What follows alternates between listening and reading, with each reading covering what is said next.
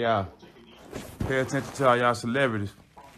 All the celebrities y'all like that ain't standing on the front lines for this, but they'll stand on the front lines for other shit. Run to the white, run to the White House for other shit, but they won't stand. They won't stand for everybody.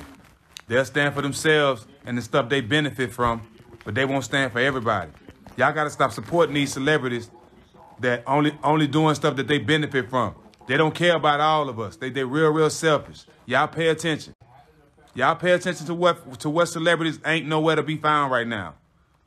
Please pay attention and stop supporting their ass. They don't love everybody. They real selfish.